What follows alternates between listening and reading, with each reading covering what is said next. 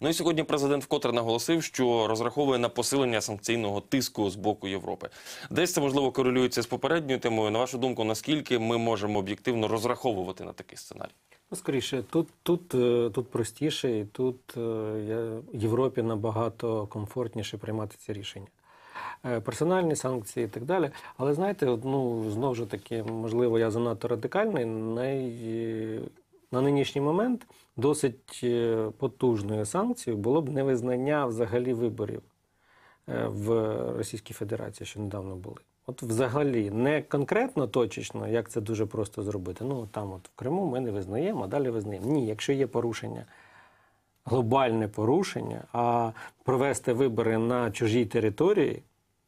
Ну, от просто уявіть собі на секунду, от е, там любу будь-яку європейську країну, от про, про її, на її межах там якась сусідня країна проводить вибори.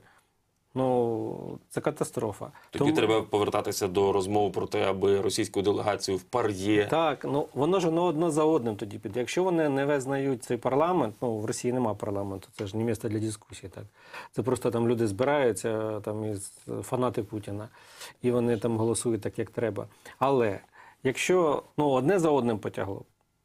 Тобто, якщо не визнаємо парламент, значить яка там може бути представництво в європейських структурах? Ніякої і так далі. Так далі. Ну на це ніхто не піде, тому що все-таки е, хочуть зберігати діалог е, з Путіним, хочуть не дратувати цього ведмедя. Ну і санкції, от ті, що вони зараз застосовують, і 100% це класно, але цього недостатньо. Але, стосовно Криму, е, Європейський Союз налаштований більш. е, Скажімо, про- продуктивно для щодо України.